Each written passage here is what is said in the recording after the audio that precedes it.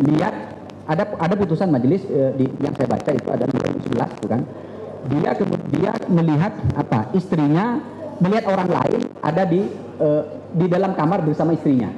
Langsung dia spontan langsung diambil parang dipenggal lehernya. Apa motifnya? Dia menganggap saya merasa dilecehkan kehormatan saya tapi itu tidak sengaja tidak rencana sengaja iya. Kenapa? Karena emosi memuncak dia langsung diambil parang lari cari parangnya nggak ketok- dia dia nggak mempersiapkan langsung ditebas. Ah hakim mengatakan bahwa ini tidak ada rencana. Kenapa?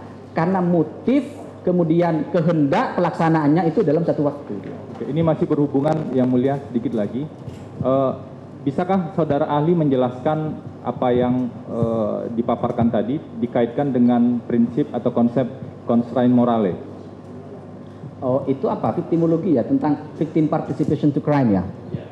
Eh, biasanya begini, di dalam kajian victimologi, eh, kadang-kadang itu korban memberikan andil bagi terjadinya kejahatan.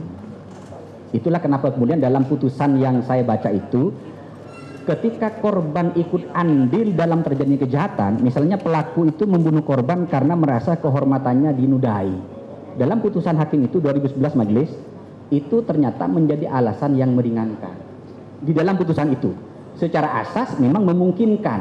Dan karena dalam banyak tindak pidana itu justru yang mencet- yang membuat terjadinya kejahatan itu tidak hanya karena dari pelakunya tapi karena ada respon dari korban. Misalnya apa? Mohon maaf ini biar biar tidak kaku. Misalnya ibu-ibu kalau ke pasar padahal membeli ikan yang dibawa apa? Tas branded 300 juta padahal mau ke pasar kemudian apa dipakai lagi kalungnya di sini kalau jalan tangannya apa? Agak kaku gini-gini itu kan. Sehingga apa?